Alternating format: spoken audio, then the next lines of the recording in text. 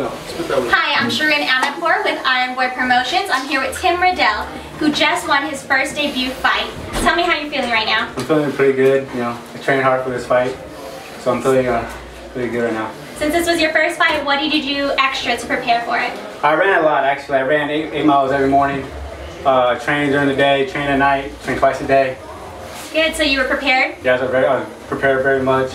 You know, tried my best. Perfect. So I saw in the fight, you kind of paused for a second.